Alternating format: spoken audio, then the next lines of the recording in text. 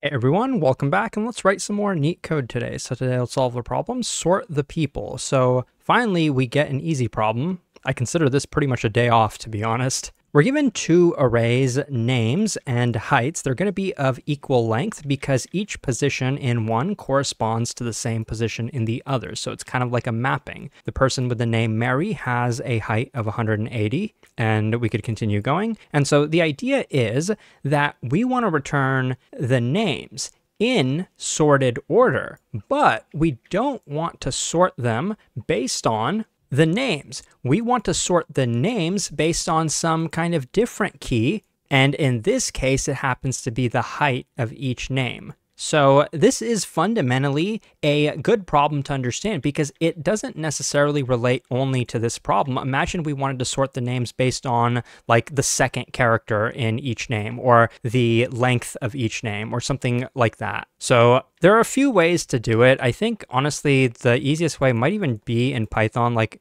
built in sort. I think you can probably pass in a custom key I actually haven't tried that yet. Maybe I will in a second, but the main one I wanted to show you is the one that you can probably extend to any language. And that is first, of course, we want to sort the heights. And by the way, they don't want them to be sorted in ascending order. They want them to be sorted in descending order. So from this, it'd be 180, 170, and 165, right? So what's the problem? Why can't we just use some kind of built-in sort to take the second array and sort it in descending order? Well, the problem becomes that we didn't sort the other thing at the same time. And again, in Python, it's very easy to get around this. You can just create an array of pairs, create like a pair with the name and the height, and then use the height to sort them and then you'll have the relative order that we want, and then we can return the output. But imagine we couldn't do something that easy. How would you do it in that case? Well, they make the problem honestly very easy for us. They tell us that every height is going to be distinct,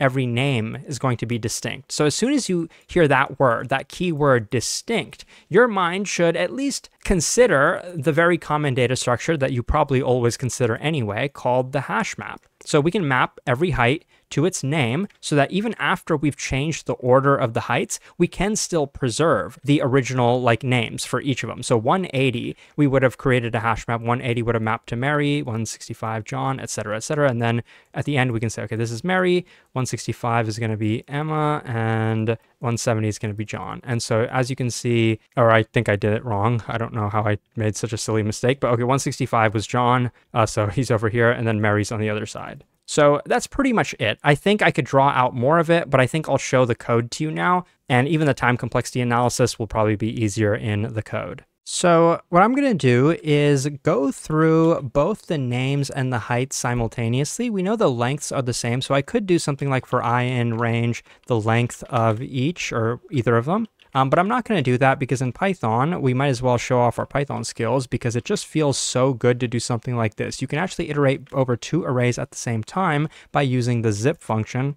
It just feels amazing to be able to do this. So what I'm going to do now is create the mapping, mapping each height to the name. And I'm going to have a hash map for that height to name. Um, that's the longest name I've probably ever written. And I'm going to map it just like that. And so next, we want to collect the sorted names and then return them. So just write out the boilerplate for that. That's kind of my style to do that. But next, we want to obviously go through the heights in sorted order. How do we do that? Well, I'm going to use a built-in sorting function for that. So I'm going to say for h in sorted heights, Remember, we also want to do it in descending order, so it's also pretty easy to do that in Python. Just pass that into the reversed function. And then we've got the heights in reverse order. That's not what we want to return, though. We want to return the names in sorted order. So we're going to get the name that corresponds to the height, and we're going to append it to the result, just like that.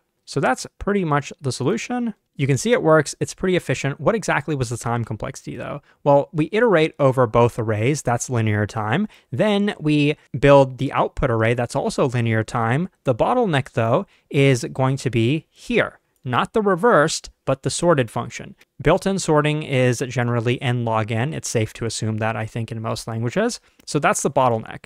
Time complexity is going to be n log n. Space complexity is, if you're not counting the output, still going to be linear because of the hash map that we have. So linear uh, space. We could have also manually implemented a sorting function such as merge sort or insertion sort. If you want to learn about that, you can probably check out uh, NeetCode.io. I might have some other videos and it's definitely covered in my courses. But I will say that even if we implemented some kind of merge sort on heights, what would we do? Like we've got the heights, their numbers, and we're sorting them. And suppose we did something like merge sort. We have like one, three, four, two. And suppose like we're at this half of the array, and so we're trying to sort it. This is the base case, this is the base case, and then we merge them in sorted order. Of course, we would swap these two, right? We'd put two over here, and then we'd put four over there. But sorting the heights alone isn't enough. So every time we perform a swap in merge sort, or if you could use quick sort as well, or some other sorting algorithm, anytime you perform a swap in the heights array to sort that in ascending order, or descending order rather, you would also